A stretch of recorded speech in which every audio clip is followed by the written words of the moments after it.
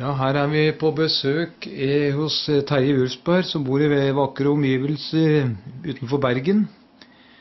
Og Terje og Ann-Kristin skal jo da nok en gang arrangere en stor ufo-konferanse. Vi har kommet til høsten 2015, da det her skal skje i Trondheim, Stiklestad. Og vi spør da Terje litt om hva som skal skje på denne konferansen. Så Terje, da gir jeg ordet til deg. Ja, på konferansen som skal være da på Stiklestad fra 2. til 4. oktober, så skal vi ha som tema 'Besøk fra andre verdener'. Og den mest prominente foredragsholderen som kommer, det er en av verdens mest kjente ufo-etterforskere og kontaktpersoner, ikke minst for utenomjordiske, som heter Sixto Paz Wells som vi får helt fra Lima i Peru. Det som er spesielt med han, er at han har ti ganger har hatt forhåndsavtalte møter med utenomjordiske, hvor han på et bestemt tidspunkt og et bestemt sted avtaler at de skal dukke opp, og så inviterer han media til å komme og få dokumentert dette og oppleve kontakt med utenomjordiske. Så det, vi er veldig glad for at han for første gang tar turen til Norge. Ja, Det skal bli kjempespennende. Eh, og han snakker da engelsk, eller er det spansk, eller hvordan Det er spansk, men med oversettelse til engelsk. Ok. Ja, og det kom jo andre Ja. spennende personer på denne konferansen. Vi har um, På Skype har vi en som Clark McClellan, som er tidligere SCO, dvs. Si Spacecraft Operator i NASA og som en varsler som har valgt å gå ut og fortelle alt han har fått greie på eh, når det gjelder kontakt med utenomjordiske.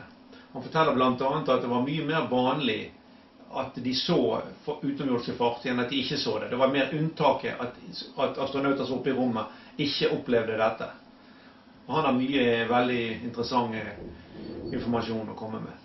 Det skal bli veldig spennende, ja. Og lista fortsetter. Så har vi Richard Lawrence, som eh, har vært eh, George Kings høyre hånd. George King var en kontaktperson som eh, på 50-tallet fikk kontakt med flere utenomjordiske, og som han formidlet informasjon til han, bl.a. Eh, utenomjordisk som het Eterius, som da var grunnlag for det som heter Eterius Society. Det som er interessant med, med den informasjonen, er at den kan konkret etterprøves. Og forutsigelser som blitt gjort, har vist seg å stemme helt nøyaktig. Presist. Det, og det vil skje. Så viser det seg at eh, det gjelder både radioaktive utslipp, det gjelder flere forskjellige hendelser som viser seg å ha stemt nøyaktig sånn som han fikk beskjed fra de utenomjordiske. Kjempespennende. Er det flere du nevner på lista di i denne ja, Vi har òg James Gilliland, som dessverre ikke kunne komme personlig pga. alle forpliktelser han har i forbindelse med ranchen sin og andre avtaler. Han som holder til i en ranch som er i Oregon, i nærheten av Mount Adams, så, hvor det er veldig mye utenomjordisk aktivitet. Hvor han har hatt kontakt med utenomjordiske over lang tid. Og hvor folk fra hele verden reiser til ranchen hans for å oppleve dette. Ligger veldig mye informasjon om han ute på YouTube-videoer og intervjuer med han. Så har vi en kar som heter Robert Hastings, som har spesialisert seg på å etterforske forbindelsen mellom utenomjordiske og atomvåpen.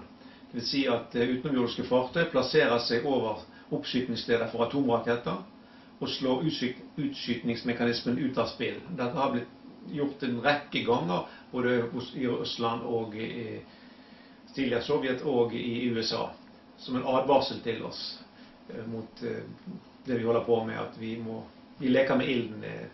Vi må kutte ut all bruk av atomkraft og kvitte oss med alt av atomvåpen. Det er den innstendige oppfordringen veldig mange forskjellige utenlandske sivilisasjoner har gitt oss. Så han har intervjuet over 150 tidligere amerikanske militære som har valgt å gå ut offentlig og fortelle om, om dette. Han holder nå på i disse dager på å lage en spillefilm om dokumentar om dette. da, mener jeg. Ok. Freddy Silva er nestemann som vi vil nevne litt om. og Han er en av verdens fremste spesialister på fenomenet kornsirkler. som han har eh, etterforsket i mange år. Og skrevet bok som heter 'Secret in the Fields', som er den, en av de beste bøkene som er skrevet om kornsirkelfenomenet. Så han vil holde to foredrag på Stiklestad. Det interessante er òg at på Stiklestad har det vært kornsirkler både på 50-tallet og inn i 2001. En flower of life-formasjon som vi da håper eh, ved hjelp av at vi visualiserer og forestiller oss det så mange personer som mulig nå i tiden fremover, at en sånn formasjon, denne, det vi sender ut, kan fanges opp av utenomjordiske er i stand til å fange opp våre tankeformer og respondere på de, og at det kommer en ny sånn formasjon, håper vi da, i løpet av eh, sommeren 2015. Det kunne vært morsomt. Mm -hmm. Ja. Og så har vi to norske som nå skal eh, eh, fortelle litt Holde foredrag om emner. Det er da Rune Øverby, og så er det undertegnet her, ja. Mm -hmm. Da har vi hele listen. Yes.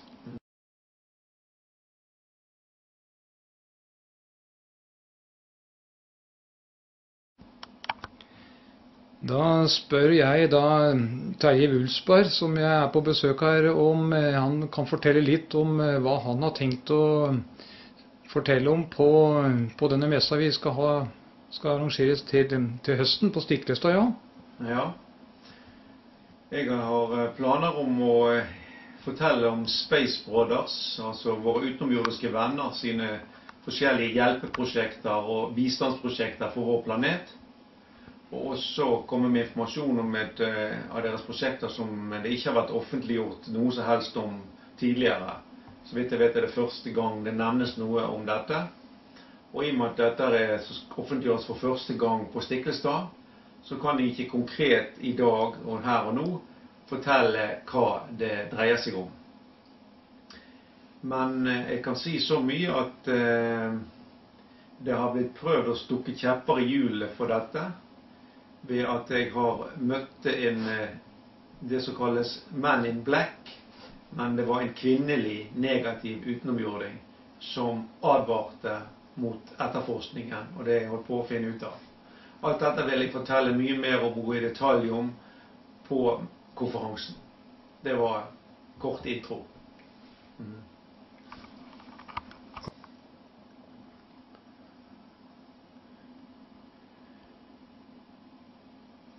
Ja, jeg skal ha en liten prat med Rune Øverby som vil være en av foreleserne på høsten konferanse på Stiklestad.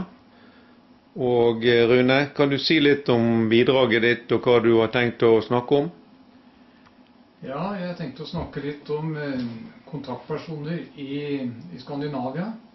Og i Skandinavia er det jo mest de svenske som har eh, fortalt åpent om, om det de har holdt, på, holdt med vedrørende utenjordiske. Så de har jo skrevet bøker, noen svenske kontaktpersoner, så det er de jeg først og fremst da vil belyse. Vi har også gjort intervjuer med dem for en del år siden. Ikke alle, riktignok, men eh, iallfall to av dem jeg kommer til å komme inn på.